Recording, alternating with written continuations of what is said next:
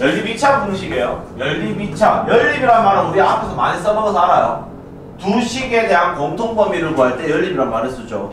근데 하필이면 얘들 여기 둘 중에 하나 또는 둘 다 2차로 나오는 케이스. 이런 경우를 연립 2차 부등식이라고 합니다. 그러니까 우리는 앞에서 2차 부등식 푸는 방법을 배웠기 때문에 내용은 별거 없어요. 자, 풀 때 어떻게 하냐. 각각 해 구한 다음에 수직선 플러스 공통 부분 찾아라 이 말이에요. 내용 없습니다 이거는. 빨리 끝내야 돼요. 단순 계산 문제죠. 자, 1번 풉니다 1번. 1번 첫 번째 식 풀어볼게요. 첫 번째 식 인수분해 돼야 안 돼요? 되죠? x 플러스 7, x 마이너스 5. 다 0보다 크대요. 자, 그러면 해 나왔어요. 봐야 돼. 이거 사이값이야, 가장자리 값이야. 가장자리 값이야. 가장자리란 말은 해 두 개가 있을 때 범위가 이쪽이랑 이쪽이 나온다는 거지. 그럼 여기 해가 지금 마이너스 7하고 5잖아. 그럼 답은 어떻게 적어야 돼? x는 마이너스 7보다 작거나요. x는 뭐보다 큽니다. 5보다 큽니다. 이렇게 됩니다. 됐나요? 자, 두 번째 식 정리할게요. 쌤, 두 번째 식은요, 이거 인수분해 돼요?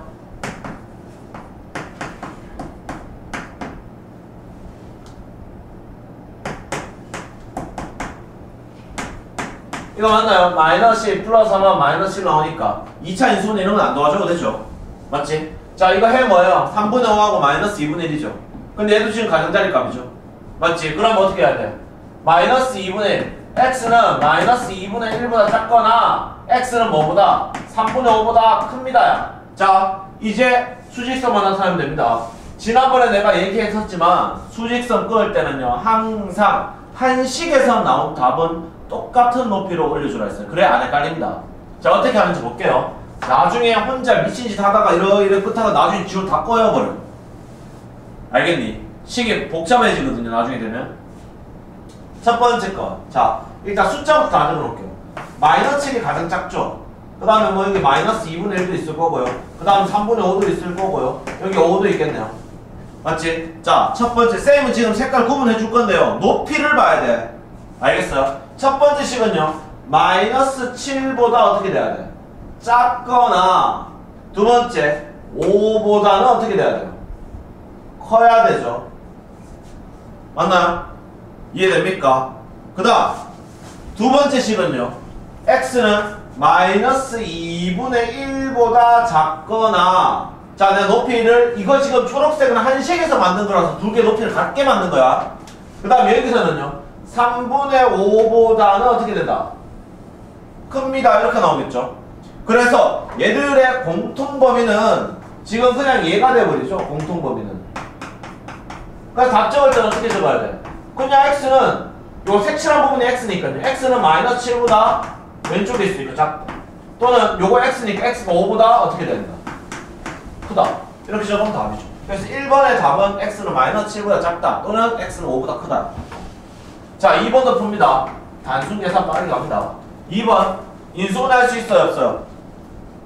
2번에 1번 인수분해 가능합니까? 자, 이거 4x 이거 x 그 다음에 여기가 플러스 3, 여기가 마이너스 1. 이거 연구와 잠깐을 갖다 내야 됩니까? 맞죠? 이해되나? 그럼 이거는 사이값인 거 확인했다. 해가 하필이면 마이너스 4분의 1하고 1이에요. 따라서 쌤 얘는 x가 마이너스 4분의 1 사이 그리고 1 맞나요? 여기 드모가 붙으면 여기도 드모 붙여주면 되고 여기 드모 없으면 안 붙이면 되는 거죠. 두 번째 식 구합니다. 이거 첫 번째 식. 두 번째 식은요. 이거 인수분해 하면요. 3x x 마이너스 2 플러스 1 이거 0보다 크다 이렇게 나오죠. 맞나요? 이거 해 뭔데요? 마이너스 3분의 1하고 2예요. 가장자리죠. 그럼 마이너스 3분의 1 왼쪽이죠. X는 마이너스 3분의 1보다 작거나 또는 x는 2보다 큽니다. 됐어? 자 이거 수직선 나타내면 되겠네. 쌤, 얘 수직선 하니까요. 자 숫자 마이너스 3분의 1 제일 작고요. 그 다음에 마이너스 4분의 1 있고 그 다음 1 있고 그 다음 2 있죠. 맞죠? 숫자 4개 순서대로 적었어요. 자 이제 첫 번째 거 맞춥니다. 마이너스 4분의 1 포함하고요. 1 포함하고요. 얘들은 이렇게 나온대요. 이게 첫 번째 식입니다. 맞나요? 두 번째는요? 두 번째 어떻게 돼야 돼요? 내가 뭐 잘못 적었나? 마이너스 4분의 3쌤뭐 잘못 적었어요? 2분의 2번에 1번 1은 마이너스 아 요거 미안 이거 다 마이너스 3에서 그럼 요거 두 개 바뀌나? 맞죠? 마이너스 4분의 3이 더 왼쪽에 있죠? 그리고 여기는 마이너스 3분의 1 됐나요 그러면? 그러면 다시. 요렇게 나오나 지금? 마이너스 4분의 3하고 1 사이. 두 번째 식은 뭐예요? 두 번째 식은 마이너스 3분의 1보다 뭐하거나 작거나 2보다 뭐하다? 크다. 이렇게 되죠. 내가 높이 보면 알죠? 어, 누가 누구 식인지 알아야 돼요 그러니까 그러면 공통범위는 이걸로 끝나면 된다. 따라서 답은 어떻게 돼? 전체 답 x는 뭐보다 마이너스 4분의 3보다는 오른쪽에 색칠해서 있고요. 뭐? 마이너스 3분의 1보다는 색칠 안 하고 왼쪽에 있죠. 요게 x니까요. 맞지? 요거 요거 사이에 있다. 얘는 색칠했으니까 등호. 얘는 등호 등 됐어요? 요렇게 됩니다. 3번. 3번 봅니다 얘는 어떻게 푸냐? 우리 원래 중학교 때 풀 때요. 요렇게 요렇게 나눠놓고 풀었어요. 그러면 첫 번째 거 먼저 할게요. 2x 플러스 5가요. X제곱보다 크다. 이거 이항할게요. X제곱 마이너스 2x 마이너스 5가 0보다 크다 맞나? 이해됩니까 이거? 자 요거 판별식 쓰면요. 양수 나옵니다. 인수분해가 안 돼서 그러지 해는 있단 말이야 맞아요? 이거 해 구할 수 있어 없어요? 구할 수 있죠 근해 공식 얼마인데요? 해부터 구합시다 그냥 x는 어떻게 나와요? 이거 0되게 만드는 값 0되게 만드는 값이 뭐예요? a분의 마이너스 b 다시 플러스 마이너스 루트 b 다시 제곱 마이너스 ac잖아 a 1이니까 치우고 마이너스 b 다시 플러스 마이너스 루트 b 다시 제곱 마이너스 ac 그러니까 얘는 해가 지금 하나는 뭔데요? 1 플러스 루트 6이고 하나는 1 마이너스 루트 6이야 그러니까 요거는 해야 원래 시계는 안 나와있죠. 내가 지금 따로 구한 거죠. 근데 얘 지금 가정자리야 사이값이야 가정자리지. 그러니까 x는 작은 거보다 1 마이너스 루트 6보다 더 작거나 x는 1 플러스 루트 6보다 더 큽니다. 이렇게 나와 두 번째. 두 번째 거는요. x제곱 이 8 더하기 7x 돼 있죠. 얘 정리하면 x제곱 마이너스 7x 마이너스 8이 0보다 작고요. 이거 인수분해하면 x 마이너스 8 x 플러스 1이 0보다 작아요 그러면 해는 8하고 마이너스 1이죠 사이값이니까 여기서 해는 어떻게 돼요? 마이너스 1과 8 사이 맞나요? 지금 첫 번째 식, 두 번째 식 답까지 다 보였어요. 수익선만 끄면 끝난 문제입니다, 이거는. 맞죠? 첫 번째. 가장 작은 거부터 해야 되는데 얘는 가장 작은 거 맞죠? 1 마이너스 루트 6. 얘가 대충 2점, 마이너스 2점 얼마니까 1 해봤자 마이너스 1점 얼마. 그 다음에 마이너스 1. 그 다음에 얘는 3점 얼마죠, 어차피. 1 플러스 루트 6. 그 다음에 얘가 8. 그럼 수익선 끌게요. 첫 번째 얘는요. 쌤 얘보다는 왼쪽이면서 얘보다는 오른쪽입니다. 이렇게 나와야 되고 두 번째 식은요. 얘는 마이너스 1 포함 안 하고 어디까지? 8까지 맞죠? 등호가 없으니까요. 그럼 공통 범위는 당연히 이게 되겠죠. 그래서 여기서 답은 어떻게 돼야 돼요? x는 1 플러스 루트 6보다는 크면서 8보다는 작아야 돼요. 그래서 x는 1 플러스 루트 6보다는 크면서 8보다 작다. 요게 답이 되겠네요. 3번에 답은. 조금 귀찮게 나와 있는 케이스죠. 루트가 나와서 그래요. 4번. 첫 번째 있는 것부터 볼게요. 절대값 x 1이 3보다 작다. 요거 바로 풀자. 지난번에 절대값 나왔을 때 푸는 방법이 있었어요. 절대값 안에 문자가 하나만 딱 나와 있어. 1차로 나와 있을 때는 그냥 풀면 되고 2차 저 뭐야 문자가 바깥쪽에 더 있으면은 구간 나눠서 내가 다 잘라서 풀라 했어요. 자, 봅니다. 얘는 x-1은 뭐하고 마이너스 3하고 3, 4입니다. 계속 졸다가 지금 기본 문제 다 날라갑니다. 내가 분명히 지금은 그냥 넘어가는데요. 지난번에 얘기했죠. 그냥 필수로 알아야 되는 내용이에요. 지금 우리 연산 연습하고 있다고요. 맞죠? 아직 인수분해 던진 사람들 있죠. 2차식. 인수분해 할때 아직도 X자 써가면서 푸는 사람들 있죠, 지금. 이거 연습 안 해서 이런 거야. 고쳐야죠. 고등학생들 나중에 대봐. 이거 보고요. 쌤이 지금 인수는 바로 적었지. 바로 적었죠 이거. 맞죠? 누구는 이렇게 안 될 것 같나? 다 이렇게 해요. 근데 연산 연습 안 하는 애들은 전부 다 혼자 익하고 있습니다. 시간 다 날려요. 중학교 시험도 시간이 부족하니 많이 가면서 지금 고등학교 시험 갖고 뒤쪽이 다 날아갑니다. 뒤쪽에 문제 보지도 못하는 상황이 생겨요. 할 때 해놔야 됩니다. 내가 지금 빨리 푸는 거잖아. 내가 지금 그래프 풀면서 봐주니 이거? 2차 부등식 풀 때 그래프 그립니까 내가 지금 이거? 안 그리죠? 하는 방법 빨리 알려주면요. 요 방법을 익혀야죠. 자, 첫 번째 거 나왔어요. 두 번째 거. 얘 정리하면 x제곱 마이너스 2분의 1x 플러스 2분의 3은 마이너스 2분의 3은 0보다 크거나 같다. 자, 요거 인수분해 하기 전에 분수하면 귀찮잖아. 맞지? 2 곱합니다. 2x제곱 마이너스 x 마이너스 3은 0보다 크거나 같다. 그래서 인수분해 합니다. 얘는 2x, x 마이너스 3 플러스 1 0보다 크거나 같다. 지금 인수분해 쌤이 적은 건 너보다 빠르겠지. 근데 이게 익숙해져야 된다고요. 자, 요거 해는 마이, 마이너스 1하고 2분의 3이죠. 가장자리예요. 따라서 x는 뭐보다 마이너스 1보다는 작거나 같고 또는 x는 2분의 3보다 크거나 같아요. 됩니까? 이게 가장자리 값이었죠? 이제 그래프 그립시다. 그래프 그리면 어떻게 돼요? 제일 작은 거 마이너스 2, 그 다음 마이너스 1, 그 다음에 2분의 3, 그 다음 4. 자, 첫 번째 거 마이너스 2부터 어디까지? 4까지.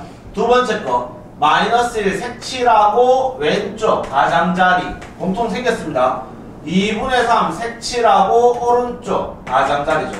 따라서 공통 부분은 답 두 개입니다. 얘는 그래서 x는 마이너스 2하고 마이너스 1 사이인데 마이너스 1도 되고 또는 x는 2분의 3보다 크거나 같고 4보다 작다. 그래서 답은 얘는 이렇게 두 덩어리가 나오게 돼요. 되겠어요? 요 기본 계산 안 되면 뒤에가 어려워지겠죠. 뭐. 자, 기본이 안 되는데 문제는 못 풉니다. 다시 얘기하지만. 뭔가 뭐 어려운 걸 풀고 있는 것처럼 생각하고 있겠지만 그냥 인수분해에서 가장자리 사이값 이것만 하고 있죠. 봅니다. 위에 거 인수분해 합니다. x-3, x 플러스 1이 0보다 작아요. 그럼 x는 지금 마이너스 1하고 3 사이입니다. 끝났습니다 이거. 내가 바로 풀었다 맞지? 두 번째 식 요거 인수분해 바로 되면 좋은데 아직 안 될 수도 있어서 얘는요 xx 마이너스 a 마이너스 2 하면 나와요. 계산하면 마이너스 2x 마이너스 ax 마이너스로 묶어내고 두개 다음에 a 플러스 2 나오거든요. 그래서 이런 인수분해는 지금 넘어갑니다.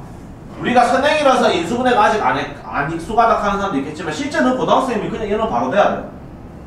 알겠어? 그 연습돼야 되죠. 앞쪽에는 인수분해 연습 안 했으면 당연히 안 나올 거고. 인수분해합니다. x-a, x-2가 0보다 작거나 같다. 따라서 여기 답이 나와야 되는데 이 답이 두 가지가 나와요. 왜 두 가지가 나올까? 뭐하고 뭐 사이인데 얘는 x는 a하고 2 사이 맞죠? 맞지? 근데 왜 답이 두 가지를 했을까요? a가 2보다 작다는 보장이 있어요. 문제에서 그런 말 있어요? 없죠? 그래서 x는 2보다 크거나 같고 a보다 작거나 같다 이렇게 나올 수도 있어요. 그럼 얘 둘 중에 뭘 써먹어야 되나 찾는 건데 근데 이미 알죠? 조금만 문제 풀다 보면 지금 이거 두개 연립했는 답이 이렇게 나왔잖아.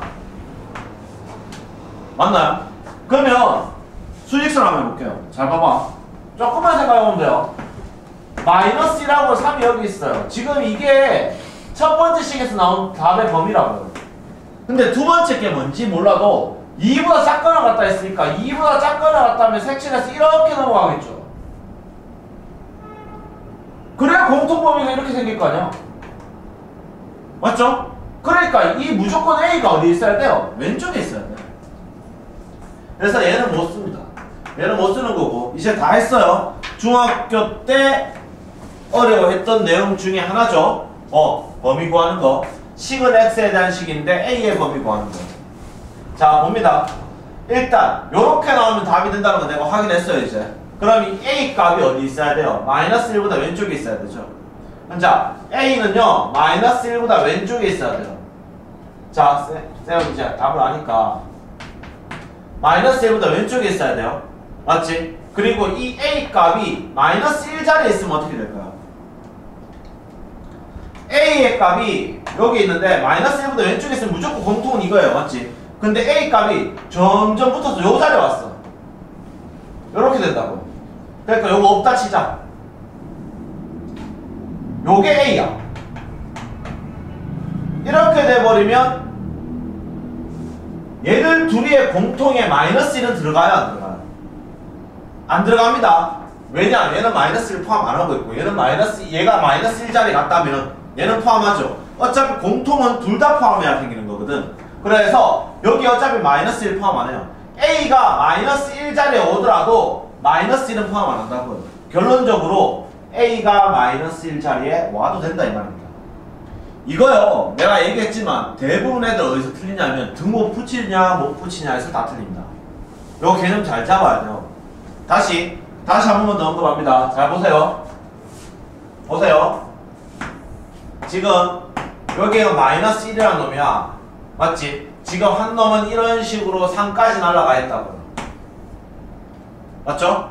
그 다음에 다른 한 놈은 다른 한 놈은 2부터 색칠해서 이렇게 가고 있다고. 그래서 여기가 A가 돼버리면 공통 부분은 이 부분이 맞거든요. 당연히 마이너스 1 포함 안 하죠. 맞지? 근데 이 A가 이까지 안 가고 마이너스 1자리로 내려온다 치자 이렇게. 그럼 여기가 색칠되겠죠.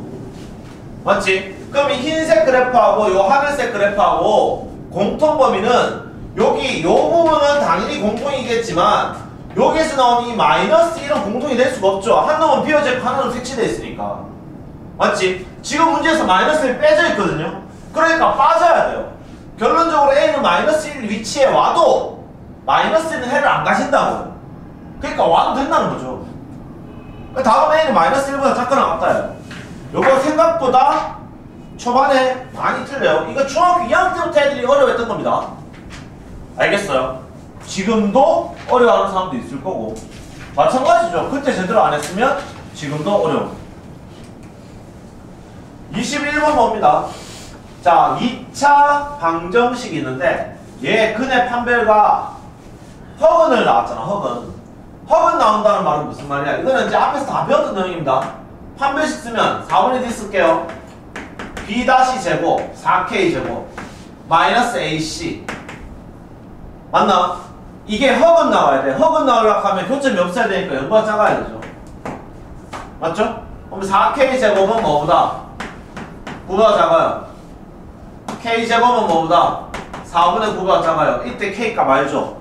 2차 부등식과 방정식은 똑같아요. 눈으로 보고 풀면 돼, 맞지? K 제곱이 4분의 9 되려 그러면 풀마 2분의 3이죠. 근데 얘는 사이 값이지. 그러니까 K 값은 어떻게 돼야 돼? 마이너스 2분의 3 사이. 그리고 어, 마이너스 2분의 3과 2분의 3 사이. 됩니까? 끝났어요, 첫 번씩. 두 번째 거 실근 갖도록 말해. 실근 가지려고 그러면 이 식에서는 판별식. 이건 D 써야 되겠다. 판별식 어떻게 돼야 돼? 0보다 크거나 같아야죠. K제곱 마이너스 4K가 0보다 크거나 같아야죠. 이거 인수분해 되면 해 바로 나오죠. 맞죠? 해는 0하고 4입니다. 그리고 가장자리죠. 맞나요? 0하고 4이면서 가장자리니까 어떻게 해야 돼? K는 0보다는 작거나 또는 K는 4보다는 크거나 같습니다. 이렇게 나오겠죠? 됐나요? 자, 근데 문제에서 원하는 건 얘2도 성, 얘 20도 성립하면서 20도 성립하는 K값 범위잖아. 결론적으로 얘들 둘이 뭐라고 하는 거야? 원리. 공통과 하는 거죠. 그럼 수익성 뽑으면 되죠. 맞지? 자, 가장 작은 거 마이너스 2분의 3. 그 다음 여기 0. 그 다음에 2분의 3. 그 다음에 4. 그러면 첫 번째 식은요. 요렇게 나오네요. 두 번째 식은요. 색칠하고 어느 쪽으로? 왼쪽. 당연히 같은 식이기 때문에 높이를 같이 해줘야 안 헷갈립니다. 맞죠? 그러면 어차피 이거 뒤에 공통은 얘밖에 없거든. 이거 답은 어떻게 돼야 돼요? K는 마이너스 2분의 3보다는 큰데요. 0보다는 작거나 같아야지만 얘도 성립하면서 얘도 성립합니다. 이렇게 나온다 이 말이에요. 어려운 거 없습니다. 다시 얘기하지만 얘는 2차 방정식 인수분해 할 수 있고 해고할 수 있다. 그리고 쌤이 얘기했던 사이값, 가정자리값 구분할 수 있으면 다 풀 수 있어요. 자, 22번. 요거는 이제 시험에 언급될 수 있는 문제입니다. 이것도. 왜냐하면 둔각삼각형이 세 변의 길이 뭐 남, 이거 전부 다 중3 때 언급했던 거거든요. 둔각삼각형이 되기 위한 조건. 맞지? 자, 봅니다. 첫 번째가 뭐였냐면 첫 번째가 삼각형이 되기 위한 조건. 일단 둔각삼각형이고 예각삼각형이고 간에 얘가 삼각형은 돼야 되잖아. 삼각형이 되기 위한 조건. 얘를 구해야 되죠. 삼각형이 되기 위한 조건은 뭔데요? 가장 긴 놈의 길이는 나머지 두 놈의 길이의 합보다 작아야 돼요. 그러니까 가장 긴 변 x 플러스 1은 작아야 돼요. 뭐보다? x 마이너스 1과 x랑 더한 겁니다. 이게 원래 우리 초등학교 때 썼던 것부터 중학교 때 썼던 것부터 나왔던 거죠. 되기 위한 조건. 그러면 요거 정리할게요. 요거 2x죠. 요거 x거든. x 넘어가면 여기 x 하나 남죠. 마이너스 1 넘어가면 2 됩니다. 어, 결론적으로 쌤 이거 x는 2보다 커야 되구나. 이게 첫 번째 조건이에요. 두 번째. 길이는요. 무조건 양수예요. 맞죠? 가장 긴 변이 뭔지는 알고 있기 때문에 우리는 길이라는 놈은 무조건 양수입니다. 이 말은 x-1과 x와 x 플러스 1은 전부 다 뭐가 돼야 돼요? 양수가 나와야 돼요. 맞나요? 그래서 x-1도 양수해야 되고 x도 0보다 커야 되고 x 플러스 1도 양수해야 되기 때문에 이거 공통으로 정리하면 x는 일단 1보다 커야 돼요. 가장 작은 놈 자체가 양수가 되면 되니까. 맞죠? 이해됩니까? 그럼 나왔죠. 일단 얘들들이 공통은 얘입니다. 그러니까 이건 실제로 의미는 없다, 맞지? 세 번째, 뭐예요? 둔각 삼각형. 자, 둔각이 되기 위한 조건은 자, 가장 긴 변에 있는 놈의 제곱이 피타고라스 공식입니다, 그거. 나머지 제곱의 합보다 커야 둔각이에요. 자, 얘 정리하면 자, 뭡니다. 여기 x제곱 있죠? 여기 x제곱 있죠? 없어집니다. 여기에 나중에 플러스 1 나오죠? 이쪽에 플러스 1 나오죠? 없어집니다. 그럼 여기는 2x로 남죠, 지금? 2x 넘어가면 마이너스 2x 되는데 여기도 마이너스 2x 있죠? 따라서 지금 우변에 지금 뭐가 남아요? x제곱 마이너스 4x만 떨어져요. 그리고 얼마나 작겠죠? 요거 내가 그냥 계산한 겁니다. 계산할 수 있죠? 풀고 이해하면 돼요. 이거 인수분 하면 x, x 마이너스 4가 0보다 작아요. 이거 2차 부동식이지만 우리는 알잖아. 해가 0하고 4라는 거, 사이값이라는 거. 따라서 여기서는 어떻게 돼야 돼요?